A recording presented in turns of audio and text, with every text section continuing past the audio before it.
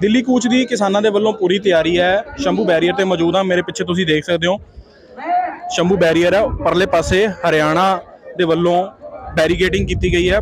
ਪੁਖਤਾ ਪ੍ਰਬੰਧ ਕੀਤੇ ਗਏ ਹੈ ਕਿਸਾਨਾਂ ਨੂੰ ਰੋਕਣ ਦੇ ਲਈ। ਲਗਾਤਾਰ ਇੱਥੇ 9ਵੇਂ ਦਿਨ ਤੋਂ ਧਰਨਾ ਚੱਲ ਰਿਹਾ ਹੈ। ਅੱਜ ਪੂਰੇ 9 ਦਿਨ ਹੋ ਚੁੱਕੇ ਨੇ ਕਿਸਾਨ ਧਰਨਾ ਸ਼ੰਭੂ ਬੈਰੀਅਰ ਦੇ ਉੱਪਰ ਲਗਾਤਾਰ ਚੱਲ ਰਿਹਾ ਹੈ। ਤਸਵੀਰਾਂ ਤੁਸੀਂ ਦੇਖ ਰਹੇ ਹੋ ਸ਼ੰਭੂ ਬੈਰੀਅਰ ਦੀਆਂ। ਸਾਹਮਣੇ ਹਰਿਆਣਾ ਦੇ ਵੱਲੋਂ ਬੈਰੀਗੇਟਿੰਗ ਕੀਤੀ ਗਈ ਹੈ। ਹਰਿਆਣਾ ਪੁਲਿਸ ਪ੍ਰਸ਼ਾਸਨ ਦੇ ਵੱਲੋਂ ਲਗਾਤਾਰ ਇੱਥੇ ਕਿਸਾਨ ਬੀਬੀਆਂ ਵੀ ਪਹੁੰਚ ਰਹੀਆਂ ਨੇ ਕਿਸਾਨ ਪਹੁੰਚ ਰਹੇ ਨੇ ਔਰ ਧਰਨੇ ਦੇ ਵਿੱਚ ਹਾਰ ਹਾਜ਼ਰੀ ਲਵਾ ਰਹੇ ਨੇ। ਵੱਡੀ ਗਿਣਤੀ ਦੇ ਵਿੱਚ ਕਿਸਾਨ ਇੱਥੇ ਪਹੁੰਚੇ ਹੋਏ ਨੇ ਦੇਖ ਸਕਦੇ ਹੋ ਤੁਸੀਂ ਔਰ ਕਿਸਾਨਾਂ ਦੇ ਵੱਲੋਂ ਪੂਰੀਆਂ ਤਿਆਰੀਆਂ ਕੀਤੀਆਂ ਗਈਆਂ ਨੇ। ਚਲੋ ਛੇ ਦਿਨ ਬਾਅਦ ਦਿਖਾ ਦਿਆਂ ਮੈਂ। ਕੱਲ ਦਿੱਲੀ ਕੂਚ ਹੈ ਫਰਵਰੀ ਦੇ 21 ਫਰਵਰੀ ਨੂੰ ਦਿੱਲੀ ਕੂਚ ਦੀਆਂ ਤਿਆਰੀਆਂ ਨੇ। ਤਸਵੀਰਾਂ ਤੁਸੀਂ ਦੇਖ ਸਕਦੇ ਹੋ ਟਰੈਕਟਰ ਦੀਆਂ। ਇਹ ਟਰੈਕਟਰ ਦੇ ਰਾਹੀਂ ਕਿਸਾਨਾਂ ਦੇ ਵੱਲੋਂ ਕੀ ਤਿਆਰੀ ਕੀਤੀ ਗਈ ਆ ਕਿਸਾਨਾਂ ਦੇ ਨਾਲ ਗੱਲਬਾਤ ਕਰਦੇ ਆ ਭਾਜੀ ਕੀ ਨਾਮ ਹੈ ਤੁਹਾਡਾ? ਰਵਿੰਦਰਪਾਲ ਸਿੰਘ ਜੀ। ਰਵਿੰਦਰਪਾਲ ਜੀ ਟਰੈਕਟਰ ਲੈ ਕੇ ਆਏ ਹੋ ਕੀ ਤਿਆਰੀਆਂ ਕੱਲ ਦਿੱਲੀ ਕੂਚ ਹੈ ਫਿਰ ਫਾਈਨਲ ਮੈਚ ਹੋਣ ਜਾ ਰਿਹਾ ਕੱਲ ਹਾਂਜੀ ਹਾਂ ਫਾਈਨਲ ਮੈਚ ਜਿੱਤਣਾ ਜੀ ਅਸੀਂ। ਕੱਲ ਆਪਾਂ ਤੁਸੀਂ ਦੇਖ ਰਹੇ ਟਰੈਕਟਰ ਕਾ ਸਾਡੀ ਮਸ਼ੀਨ ਵੀ ਆ ਗਈ ਪਿੱਛੇ ਮਸ਼ੀਨਾਂ ਵੀ ਆ ਗਈਆਂ। ਦਿੱਲੀ ਕੱਲ ਚੜਾਈ ਕਰ ਜਾਣੀ ਹੈ ਆਪਾਂ। ਜਿੱਦਾਂ ਹੀ ਜਿੱਦਾਂ ਜਥੇਬੰਦੀ ਦੀ ਕਾਲ ਹੁੰਦੀ ਹੈ ਉਸੇ ਟਾਈਮ ਅਸੀਂ ਬੈਰੀਕੇਡ ਤੋੜ ਕੇ ਅੱਗੇ ਅੱਗੇ ਨਿਕਲ ਜਾਣਾ ਜੀ। ਸਰਕਾਰ ਨੇ ਪੰਜ ਫਸਲਾਂ ਦੇ ਉੱਪਰ ਐਮਐਸਪੀ ਦਾ ਪ੍ਰਪੋਜ਼ਲ ਰੱਖਿਆ ਸੀਗਾ।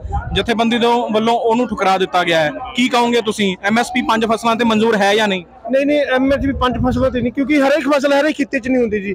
ਔਰ ਜਿੱਦਾਂ ਪੰਜਾਬ 'ਚ ਕ- ਕਣਕ ਤੇ ਝੋਨਾ ਹੁੰਦਾ ਜੀ ਤੇ ਕ- ਕਪਾਹ ਕਿਤੇ ਹੁੰਦੀ ਮੱਕਾ ਕਿਤੇ ਹੁੰਦਾ ਇਸ ਕਰਕੇ ਸਾਨੂੰ ਸਾਰੀ ਫਸਲ ਤੇ ਐਮਐਸਪੀ ਚਾਹੀਦੀ ਹੈ ਤਾਂ ਕਿ ਸਾਰੇ ਦੇਸ਼ ਕੱਲਾ ਪੰਜਾਬ ਨੂੰ ਨਹੀਂ ਸਾਰੇ ਦੇਸ਼ 'ਚ ਜਿਹੜੇ ਜਿਹੜੇ ਜਿਸ ਚੀਜ਼ ਦੀ ਖੇਤੀ ਕਰਦੇ ਆ ਉਹਨਾਂ ਨੂੰ ਉਹਦਾ ਉਹ ਮਿਲੇ ਮਤਲਬ ਕਿਹੜਾ ਪਿੰਡ ਹੈ ਜੀ? ਕਿੱਥੋਂ ਆਏ ਹੋ? ਬਨੂੜ ਤੋਂ ਜੀ। ਹਾਂਜੀ। ਕੇਂਦਰ ਸਰਕਾਰ ਦਾ ਰਵਈਆ ਅੜੀਅਲ ਰਵਈਆ ਹੈ ਉਹਦੇ ਬਾਰੇ ਕੀ ਕਹੋਗੇ? ਦੇਖੋ ਤੁਸੀਂ ਦੇਖ ਹੀ ਰਹੇ ਹੋ, ਸਾਡੇ ਨਾਲ ਇਦਾਂ ਦਾ ਵਤੀਰਾ ਕੀਤਾ ਜਾ ਰਿਹਾ ਜਿੱਦਾਂ ਅਸੀਂ ਪਾਕਿਸਤਾਨ ਤੋਂ ਆਏ ਹੁੰਦੇ ਹਾਂ ਚੀਨ ਤੋਂ ਆਏ ਹੁੰਦੇ ਹਾਂ। ਇੰਨੀ ਬੈਰੀਗੇਡਿੰਗ ਇੰਨੀ ਤਾਂ ਸਿਕਿਉਰਿਟੀ ਬਾਰਡਰਾਂ ਤੇ ਨਹੀਂ ਹੈਗੀ ਜੀ ਜਿੰਨੀ ਇਹਨਾਂ ਨੇ ਉੱਥੇ ਇੱਥੇ ਲਾਈ ਹੋਈ ਹੈ। ਇੱਕ ਪਾਸੇ ਕਹਿੰਦੇ ਡੈਮੋਕ੍ਰੇਸੀ ਹੈ ਦੂਜੇ ਪਾਸੇ ਸਾਨੂੰ ਆਪਣੀ ਗੱਲ ਰੱਖਣ ਤੋਂ ਰੋਕਿਆ ਜਾ ਰਿਹਾ ਹੈ। ਦਿੱਲੀ ਸਾਡੀ ਮਤਲਬ ਕੈਪੀਟਲ ਹੈ ਰਾਜਧਾਨੀ ਹੈ। ਹੁਣ ਆਪਣੀ ਜਿੱਥੇ ਆਪਾਂ ਦਿੱਲੀ ਸਾਨੂੰ ਦਿੱਲੀ ਨਹੀਂ ਜਾਣ ਦੇ ਰਹੇ। ਹੁਣ ਜੇ ਅਸੀਂ ਆਪਣੀ ਗੱਲਬਾਤ ਰੱਖਣ ਦੀ ਦਿੱਲੀ ਤਾਂ ਜਾਣਾ ਹੀ ਪੈਣਾ ਜੀ ਦੇਖੋ।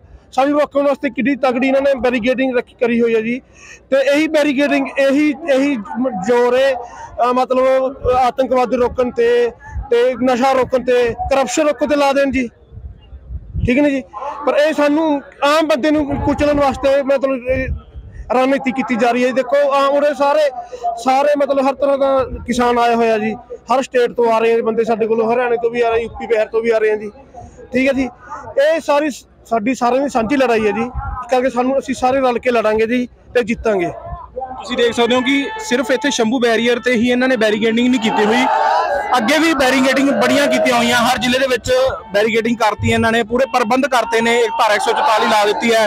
ਤਾਂ ਜੋ ਕਿਸਾਨਾਂ ਨੂੰ ਹਰ ਥਾਂ ਤੇ ਰੋਕਿਆ ਜਾਵੇ। ਬਾਈ ਦੀ ਵੇ ਤੁਸੀਂ ਆਹ ਬੈਰੀਗੇਡਿੰਗ ਤੋੜ ਨਹੀਂ ਦਿੱਤੀ। ਫਿਰ ਅੱਗੇ ਫਿਰ ਬੈਰੀਗੇਡਿੰਗ ਆਊਗੀ। ਕੋਈ ਗੱਲ ਨਹੀਂ ਜਿਹੜੇ ਅੱਗੇ ਆ ਜੀ ਉਹਨੂੰ ਵੀ ਤੋੜਦੇ ਜਾਵਾਂਗੇ ਜੀ। ਤੁਸੀਂ ਦੇਖੋ ਸਾਡਾ ਕਿੱਦਾਂ ਮਤਲਬ ਲੋਕਾਂ ਦਾ ਇੱਕਾ ਕਿੰਨਾ ਹੈ। ਸਾਡੇ ਕੋਲ ਉਰੇ ਹਜ਼ਾਰਾਂ ਤੋਂ ਮਤਲਬ ਟਰੈਕਟਰ ਹੋ ਗਏ, ਦੇਖੋ ਜੀ। ਉਸ ਤੋਂ ਬਾਅਦ ਲੱਖਾਂ ਲੋਕ ਹੈ। ਠੀਕ ਹੈ, ਇੰਨੇ ਲੋਕਾਂ ਦੇ ਅੱਗੇ ਇੰਨੀ ਕਿੰਨੀਆਂ ਗੋਲੀਆਂ ਮਾਰ ਲੈਣੇ ਕਿੰਨੇ ਗੋਲੇ ਦਾਗ ਲੈਣਗੇ ਜੀ ਇਹ? ਪਰ ਇਹ ਸਾਡੀ ਮਤਲਬ ਅਸੀਂ ਇੱਕ ਚ ਗੋਲੀਆਂ ਖਾਣ ਨੂੰ ਵੀ ਤਿਆਰ ਹੈ, ਪਰ ਅਸੀਂ ਜਾਵਾਂਗੇ ਜ਼ਰੂਰ ਦਿੱਲੀ। ਸੋ ਦੇਖਿਆ ਤੁਸੀਂ, ਕਿਸਾਨ ਭਰਾ ਮੇਰੇ ਟਰੈਕਟਰ ਲੈ ਕੇ ਪਹੁੰਚੇ ਹੋਏ ਨੇ, ਉਹਨਾਂ ਦਾ ਇਰਾਦਾ ਪੱਕਾ ਹੈ, ਹੌਸਲਾ ਪੱਕਾ ਹੈ। ਕੱਲ ਦਿੱਲੀ ਕੂਚ ਹੋਏਗਾ ਔਰ ਕਹਿ ਰਹੇ ਨੇ ਕਿ ਸਾਡਾ ਫਾਈਨਲ ਮੈਚ ਆ, ਅਸੀਂ ਬੈਰੀਗੇਟਿੰਗ ਤੋੜ ਕੇ ਅੱਗੇ ਵਧਾਂਗੇ। ਇਹ ਕ੍ਰੇਨ ਦੀਆਂ ਤਸਵੀਰਾਂ ਤੁਸੀਂ ਦੇਖ ਰਹੇ ਹੋ, ਸ਼ੰਭੂ ਬੈਰੀਅਰ ਤੇ ਕਿਸਾਨ ਲੈ ਕੇ ਪਹੁੰਚੇ ਹੋਏ ਨੇ।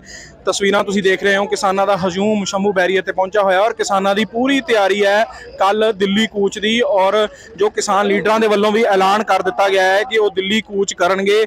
ਸਾਰੇ ਕਿਸਾਨ ਇਕੱਠੇ ਹੋ ਕੇ ਇਕਜੁੱਟਤਾ ਦੇ ਨਾਲ ਦਿੱਲੀ ਜਾਣਗੇ ਤੇ ਆਪਣੀਆਂ ਹੱਕੀ ਮੰਗਾਂ ਦੇ ਲਈ ਕੇਂਦਰ ਸਰਕਾਰ ਦੇ ਖਿਲਾਫ ਦਿੱਲੀ ਪਹੁੰਚ ਕੇ ਧਰਨਾ ਲਾਉਣਗੇ। ਆਪਣੇ ਸਹਿਯੋਗੀ ਲਾਲਤਾ ਪ੍ਰਸਾਦ ਦੇ ਨਾਲ ਅਸ਼ਰਫ ਟੁੱਡੀ ਏਬੀਪੀ ਸਾਂਝਾ।